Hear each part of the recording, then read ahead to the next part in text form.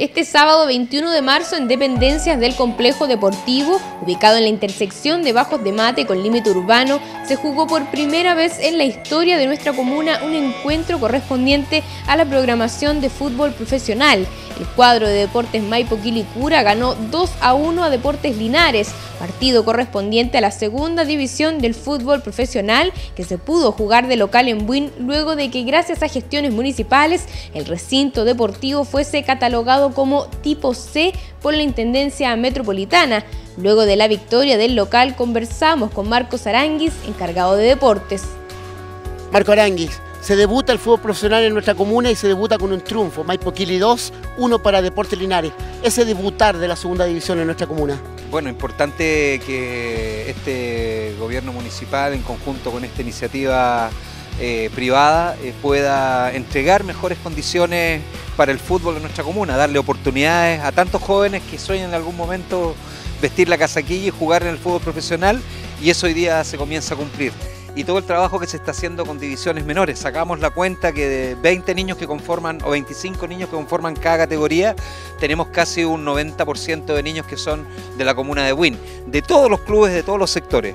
Así que esto permite cumplir sueños, eh, poder enfrentarse a clubes que tienen un mayor eh, desarrollo futbolístico y que de una u otra manera eh, hacen cumplir este deseo de poder estar en las grandes ligas y poder vestir la casaquilla y representar a un equipo local. Eso es lo importante, las oportunidades y sobre todo ver esto hoy día aquí con gente ganando un partido que demuestra que lo importante que es jugar de local, puesto que eso ensalza las pasiones y lo hace a uno jugar con mayor poder. Así que lindo triunfo de Michael Quiligura, felicitar a esta iniciativa que es también parte de nuestra historia. Imagínate jugar, cuando habíamos soñado o pensado que en nuestra comuna íbamos a tener fútbol profesional y aquí hoy día lo cumplimos.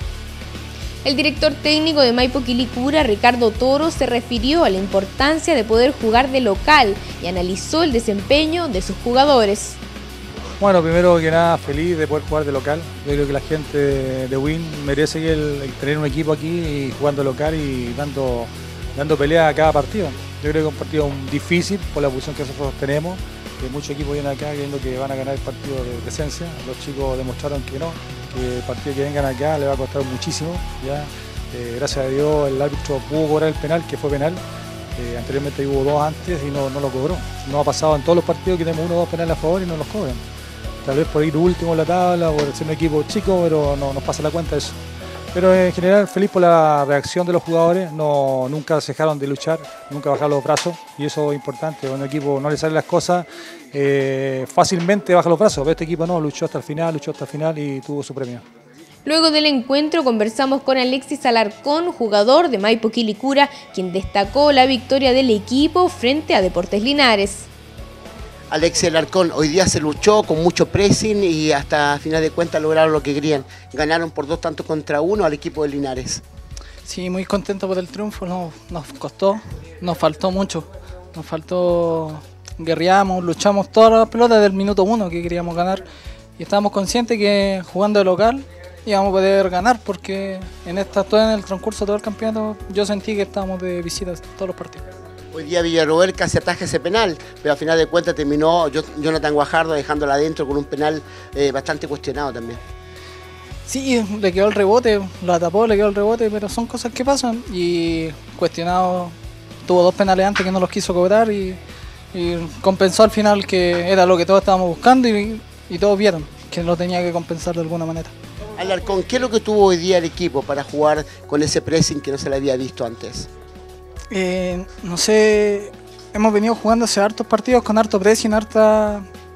Y hemos jugado con la mala fortuna que tenemos que autogol en contra, malas decisiones, pero estábamos convencidos que acá de local con gente que nos está apoyando todos los días íbamos a poder salir adelante y más en nuestra casa, que nuestra cancha que entrenamos todos los días, que, que es un factor importante.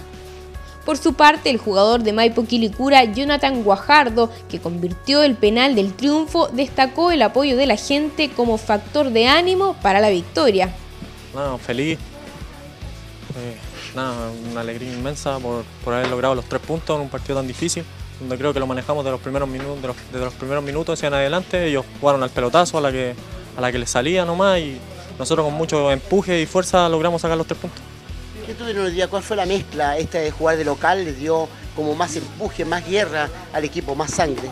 Claro, el apoyo de la gente, yo creo que eso fue lo principal. Hubo harta gente que a, no ser, a pesar de que no nos fue a apoyar cuando jugábamos en, en Buera o en La Pintana, acá nos vino a apoyar demasiado la gente y se notó el, cambio del equipo, sino que con el, empuje de la gente nosotros sacamos más corazón para sacar esto adelante. Con esto suman ya, tenían 10, suman 13. ¿Van por los 16 con Deporte Valdivia? Claro, siempre uno tiene que aspirar a más, siempre tiene que, aspirar al siguiente partido y, se nos viene Valdivia, un, rival que ya conocemos bastante, que, le hemos sacado buenos, buenos puntos eh, en su en visita en casa ya de ellos y acá le, logramos ganar y, y nada, trataremos de ir a buscar los tres puntos allá.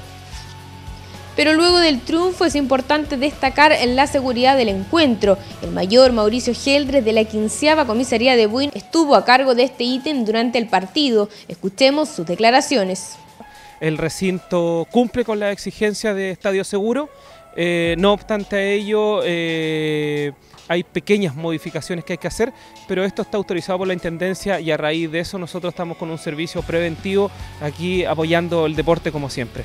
Mayor, ¿este estadio puede seguir creciendo y tener otra nominación a futuro? Sí, por supuesto, por supuesto. La, ley habla de eh, en total de 500, eh, eh, por decirlo así, recurrente o o hinchas que pueden venir a, la, a, alentar el estadio.